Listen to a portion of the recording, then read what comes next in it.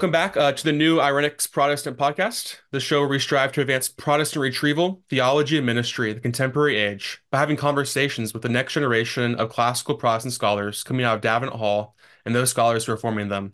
I'm your host, Jonathan McKenzie. I'm a young classical Protestant currently pursuing my master's of letters in classical Protestantism from Davenant Hall. I also serve as the groundskeeper here in Landrum, South Carolina for the Davenant House and uh, I am I am the uh, the host of this this here podcast today. I'm joined by uh, one of my co-students. What's the term for that? Classmate, yeah. Uh, one of my, one of my classmates, um, Addison. Uh, him and I share most of our classes this semester. Somehow we've completely lined up. Um, so you know, I've I've only tired of seeing his face and and uh, every every uh, Tuesday we have uh, some back-to-back classes. Um, Addison, could you uh, introduce yourself a little bit? Um, tell us a little about you, your background, and um, what you're doing right now. Yeah, so I'm Addison Barton.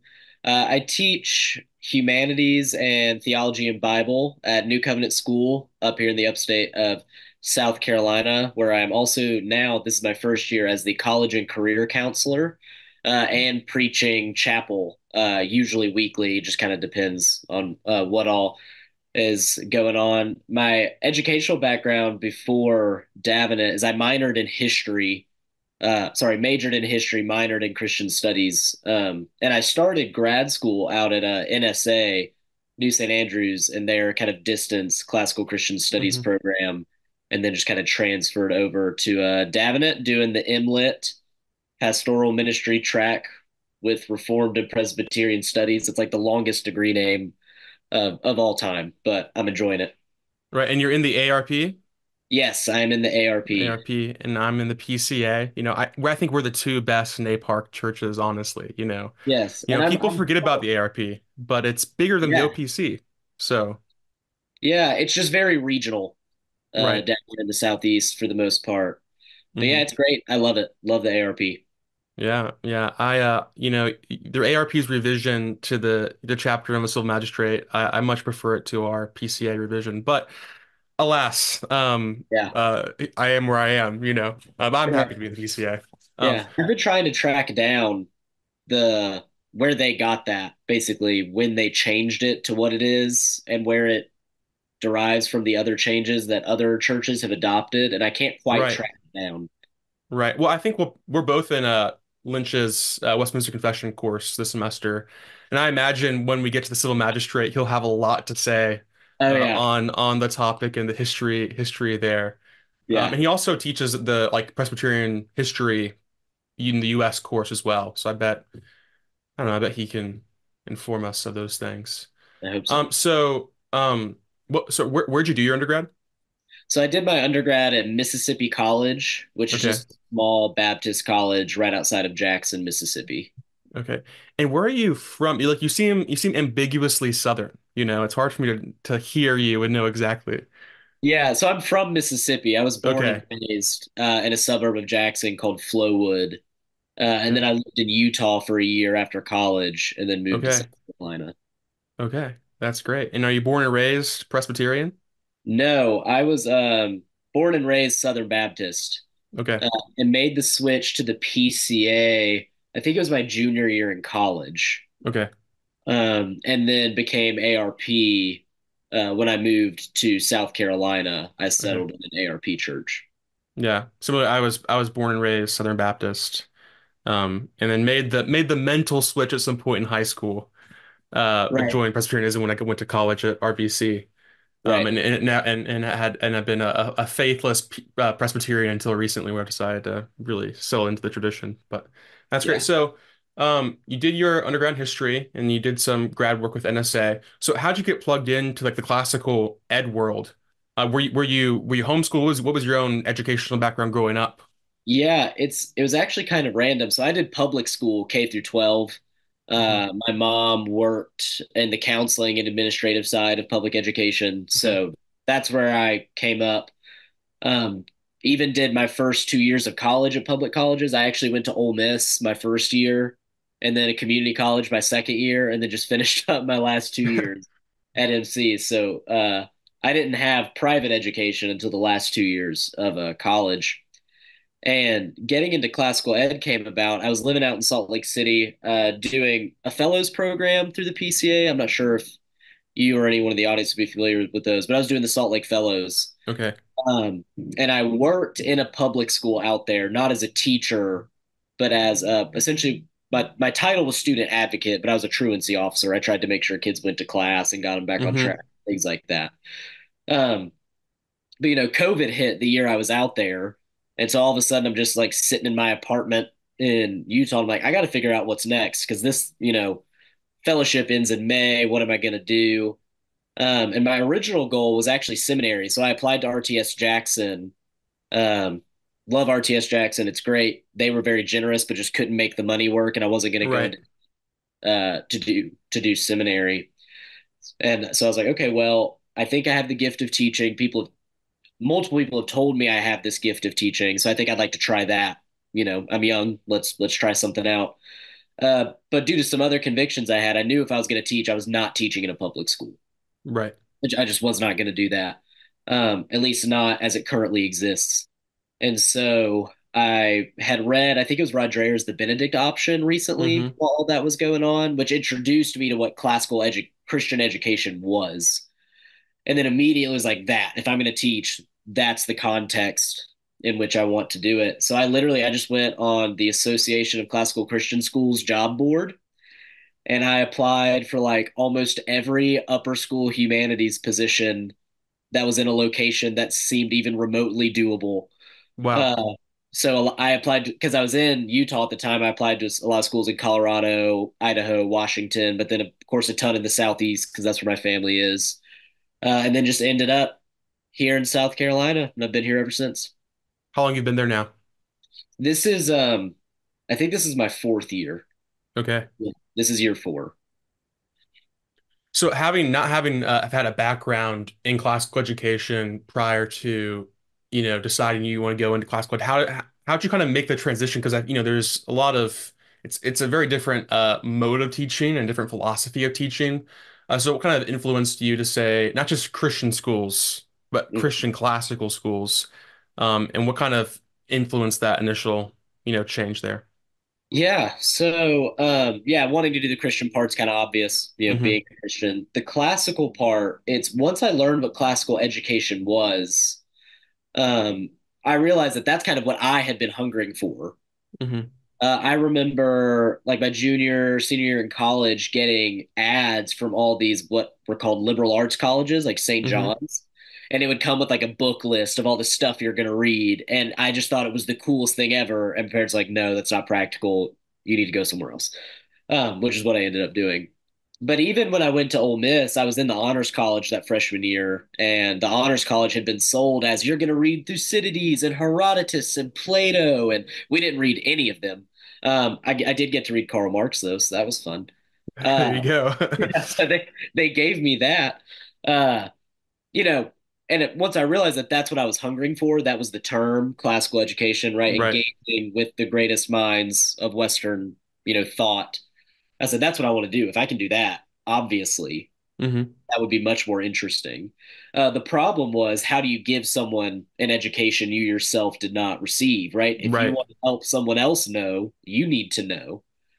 Uh, and so basically, I just kind of started on a quest of, I think I read Mortimer Adler's How to Read a Book. Mm-hmm and then just from there started digging into the Western canon, just kind of dropping in wherever. I wasn't really systematic about it. I didn't follow some specific list.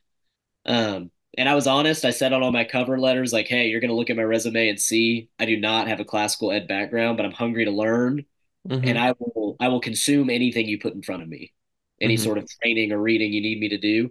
Uh, and then the guy who was headmaster at the time decided he liked me and that he'd take a chance on me, and here we are.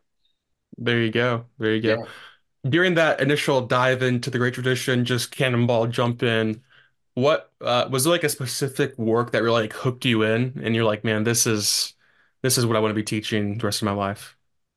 Yeah. Um so my thesis in college was medieval history. So I always most of the jobs I was looking at, I was trying to look at something where I would probably have to teach other things, but I could do medieval stuff. Um, and for me, it was a uh, Beowulf. I just I love Beowulf as a text. Um, and then I also uh, Shakespeare, specifically uh, Macbeth and Much hmm Ado About Nothing, Henry V. Those plays just really hooked me, and it's like, man, so there's a there's a world in which I can be honest about these texts with students and enjoy them together. If that exists, that's that's where I want to be. hmm So now you've been teaching for four years, um, and you said, I think you said you, you teach uh, history, you teach theology, Bible, you preached. Am I missing? Am I missing one on that list? Yeah, so we do uh our we have an integrated humanities. Okay. I do um ancient or classical humanities and then our hmm medieval humanities, which covers your literature, history, theology, philosophy for those Okay. Yeah. Okay. Um, so, um, in what age group are you usually teaching?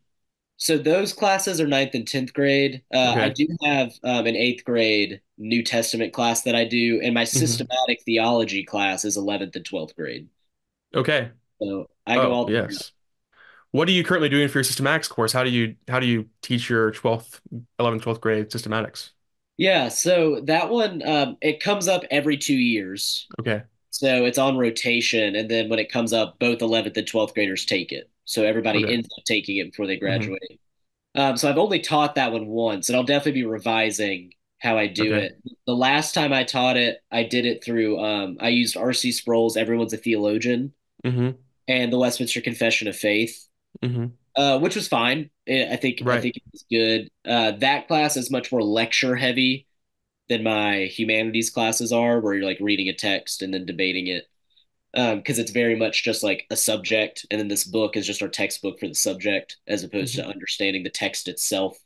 You know, there's nothing altogether that interesting about Sproul's Everyone's a Theologian Right. Um, but great book, nothing against hmm it.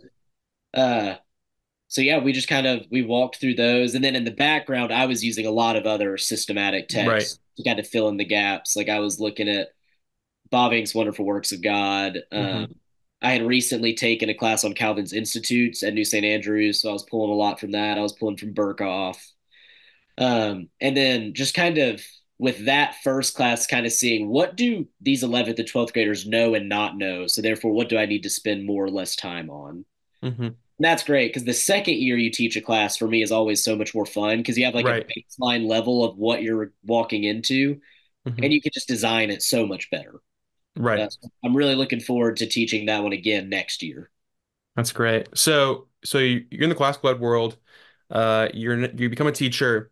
How'd you get hooked up with um the Davenant Institute, um, firstly, and then Davenant Hall? Yeah, so I think it all kind of. I think I first found Davenant when I was still living in Utah, and I don't remember exactly how it came up. I was going through an interesting intellectual development um, where I was moving out of presuppositional thought, hmm kind of like looking for resources on that. I was moving out of libertarianism into um, perhaps a more conservative, you know, political theology, basically like the standard thing, like all the stuff Davenant does, right? So their Right. kept Exactly. coming up everywhere. I got into a couple of Facebook groups um, about like Protestant recovery of, you know, pre-modern exegesis and hmm classical apologetics and classical methodology and scholasticism. And so Davenant just kept coming up everywhere. And so I started following them online. I bought a couple of their books and started reading some of their stuff. Um, I was like, oh, wow, this is great. And then when they launched the master's program, I was very compelled. hmm But I had already started, or I was about to start the new St. Andrews thing. So I was like, oh, I'm just going to do that.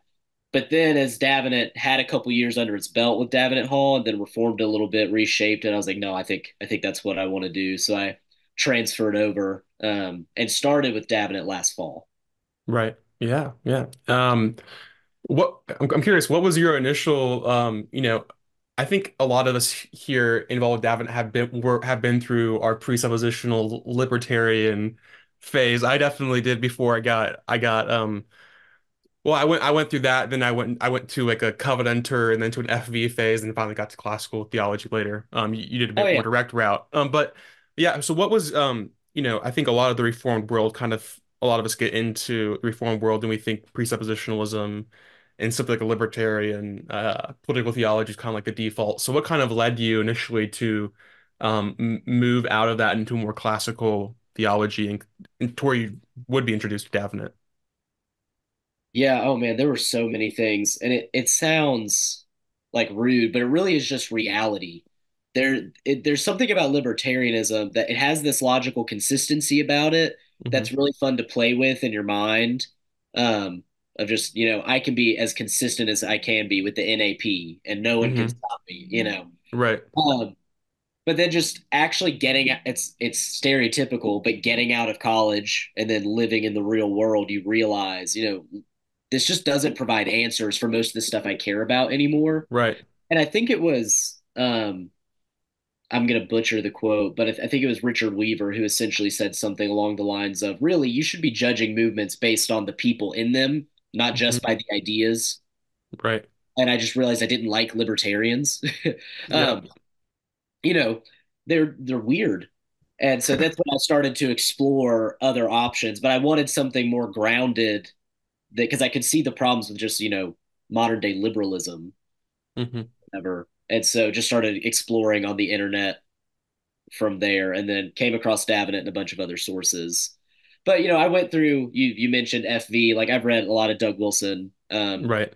in many ways, that was part of the intellectual development that led me to Davenant, right? He's always talking hmm about classical Protestantism. Yes. Whether I may disagree with some of the things he says is classical Protestantism, right? He hmm he uses that term, um, and he's very big on like, yeah, go read the sources, like go read the reformers, go read the church fathers, right? And hmm as soon as you get in that circle doing those things, you're going to come across Davenant Right. all Right. stuff. Yeah, and I think that's Davenant is kind of a sort of post FV sort of project, right? I mean, a lot of the the main the main minds and figures in Davenant were like were you know, in their early 20s during the whole FV controversy, right? And they kind of saw, well, you know, these FV guys are asking like these sort of questions and are, you know, kind of quote mining, you know, the Reformed for base sacramental quotes. Yeah, And but also like none of them are actually like spending you know, a whole lot of time on primary primary reading. And you have all these young guys actually go do their primary reading yeah, and they come out very much not presuppositional or FV, but very much a different thing from the modern evangelical reformed landscape. yeah, Um, and it is kind of interesting how you have movements like that that kind of nudge you in the right direction. You just can't just can't hang out there too long, right? yeah, Um, absolutely. I mean, yeah, and and and, things like theonomy, right? Because like theonomists kind of asked a lot of good questions and probably gave a lot of poor answers. Um, but I think that that that, that theonomy discourse from the Reconstruction is kind of set up uh, for an eventual retrieval of classical Protestantism, right? Because instead of just base quoting about God's law, you can actually go and read the primary sources. So um, I think I think that journey is a journey that I know a lot of people in Davenant have have been through. Um, so now that you kind of been in Davenant, you've been reading these, you know, Davenant materials. How do you think that's like affected you as a classical educator uh, in the classroom, um, in your own thoughts and approach to education? Sure. Yeah, it's it's affected it in several different ways. On the one hand, it's just always interesting to see how different um, teachers organize different courses and approach hmm different types of texts and see would that work or not in my context and kind of play with those things. Uh, and then just being on the receiving end of a more text-based Socratic pedagogy, right? Because that was never a hmm thing I had in my education. Right. Being able to, you know, take Colin Redemer's, um, you know, Plato's seminar, where he just kind of sits there for the most part quietly for the first hour of the two and lets people kind of talk about the text to get their ideas out there and go back and forth, you know, and then he might guide it here or there and things like that. So getting to witness that, I think, is way more useful than reading any book on Socratic pedagogy, right? Like actually getting hmm to witness it. Um, there are also content things that that have come through. Um, I have they're definitely getting classical apologetics and understanding of um, classical theology from me. hmm Right? There's uh, there there's a few curricula pieces that we use that are a little bit more presuppositional in their approach that I have then kind of filtered out that out. I would hmm say. Um, not that my students aren't aren't at complete liberty to be Right, presupposition. of That's course. just Yeah. that's just not my approach. Um, so it certainly had an effect there. And then I mean, just different classes, just straight up the content, of course, has an effect. Um, I do teach some Bible, so a lot of the stuff we did with uh, Brad and natural law and scriptural authority hmm definitely comes out when I'm teaching Romans um, and other texts like that. Um, this semester with Westminster Confession hmm is obviously going to come out, and a lot of the theological stuff I do in my systematics class. That's been great. And then just, uh, I mean, we're both in classical rhetoric for preaching, right? I Right. chapel hmm weeks. That's been a blast to try to talk out like how is it that we should really approach this and what should we be doing? Because I did not have a lot of preaching experience when I started that part of my job this year. So it's been cool to kind of like grow in that, just kind of like on the ground, having to do it every week, while then also being over here taking classes, discussing the theory. And so, um, just in those different ways, both in getting to witness their pedagogy, right, and analyze that has affected me as a teacher. And then also just the content finds its way in as well just hmm inevitably right? And because i think students students get excited about what the teacher gets excited about. Right.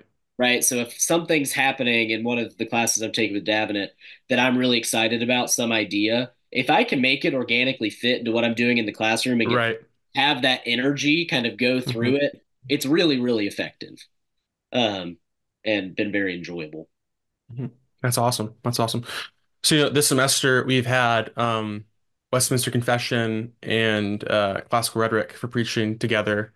Um, wait, are you are you also in my uh, Tolkien class? Yep, we're both in Uh, Although I'm just a, I'm just a lowly auditor in that class, though. right, I'm right, yeah, literally just yeah, there to read Tolkien and talk about it. That's it. yeah, yeah. Um, it's interesting doing these two classes uh, because I think they're maybe some things that are often familiar to people in our crowds, you know, like classical rhetoric. You know, I know about pathos and ethos and Yeah, logos and that sort of thing. And and you know, I usually feel very uh, familiar with the Westminster Confession.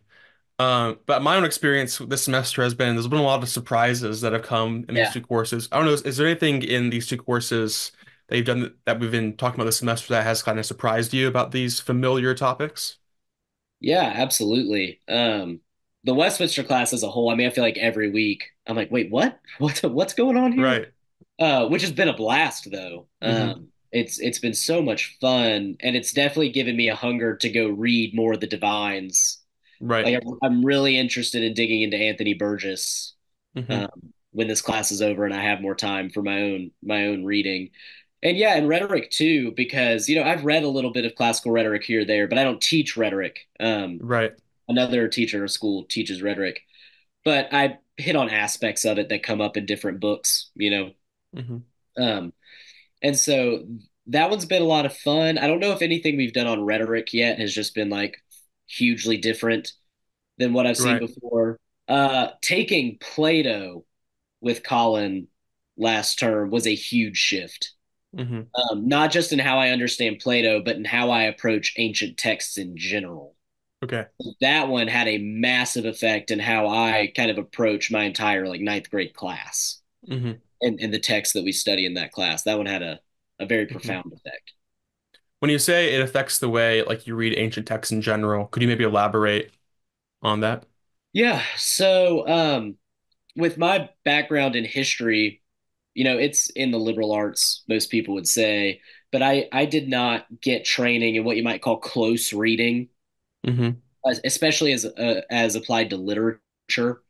Um, and so what I one of the big things I learned in that Plato class, because I was really frustrated at first, because I would go, I would do the readings, I would come to class, and I'm like, okay, I am not getting what these other people are getting from this, and I don't know what I'm doing wrong, right? hmm And so I emailed Colin. We did office hours. He mentioned some stuff in class on just approaching Plato more as literature and how to read ancient literature and how, um, and like he's mentioned it in um, classical rhetoric as well. You know, when you're reading Plato, there's an exoteric and there's an esoteric teaching going on, hmm um, and just really paying attention to the details, Right.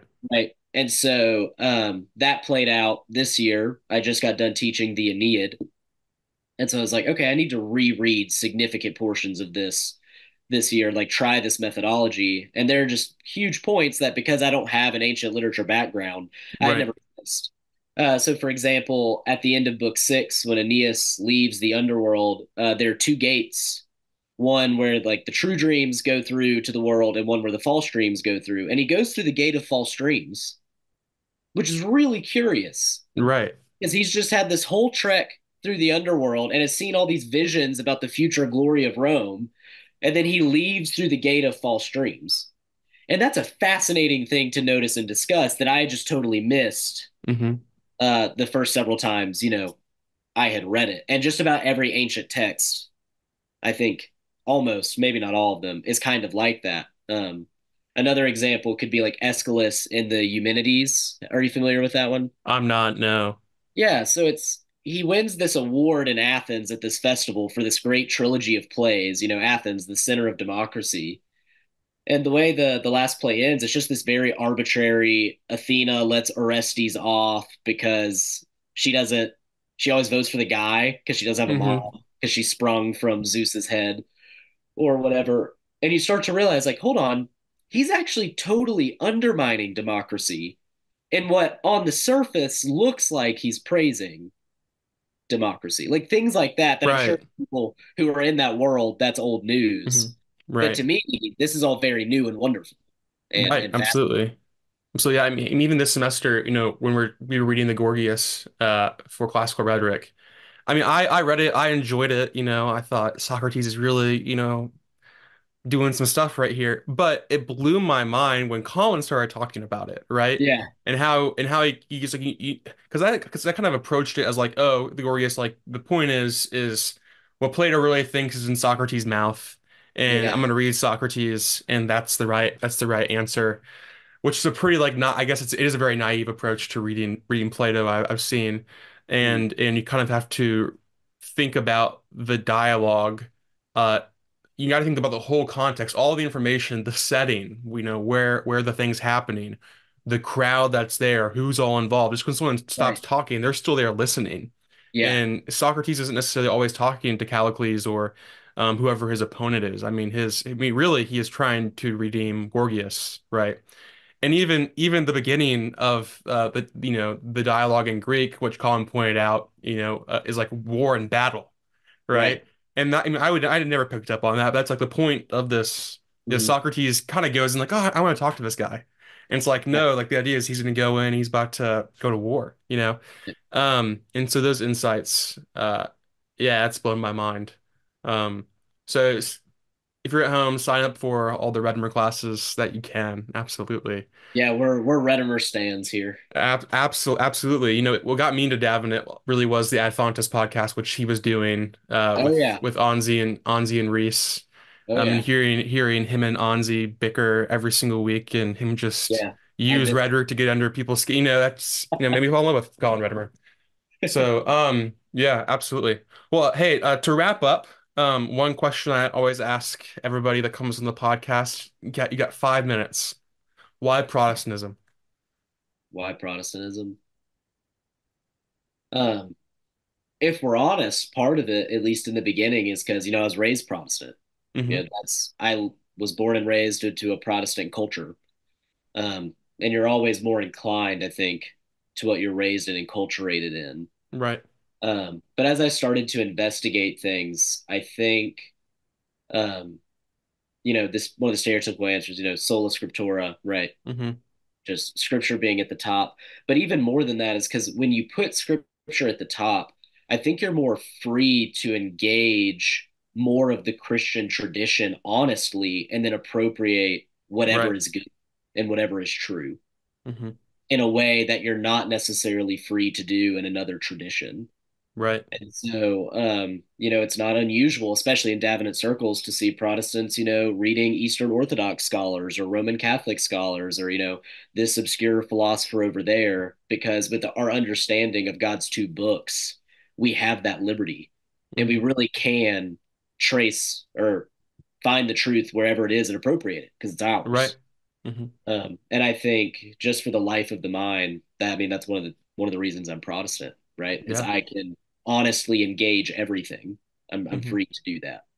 Yeah. sounds like probably saying too is like the seat of security, right? Because I have a sole infallible standard, you know, as Yes. as our, as our highest standard, I'm actually free to think all these things to kind of have a single infallible source to judge them all by. Um, yeah, I think that's that's a great answer. Awesome. Well, thank you so much for coming on the show today. Uh, we're gonna end the, we're gonna end the day though with a spotlight. Thank you for having Uh, our spotlight uh, for today is um, uh, Davenant is releasing finally at long last an actual John Davenant book. Uh, so right now, uh, pre-orders are open for On the Death of Christ, uh, a new translation of John Davenant's uh, uh, massive work on the nature of the atonement and its extent and how it how it works. Um, and also, it's translated by Dr. Michael Lynch. And there's even um, new untranslated letters that Davenant writes some French Reform guys that have never been put in English before. So it's an entirely new translation. It's going to be great. It's going to be the the greatest publication of the year, in my opinion uh, no matter what you think on uh, issues of John Davenant and the Atonement. Uh, so I'd highly recommend that you go uh, and pre-order it. Uh, the pre-order pre-order price right now is $35.95. Um, it'll be $47.95 when it releases in March. So I'll put a link down uh, in the description. And with that, thank y'all for tuning in. Bye bye.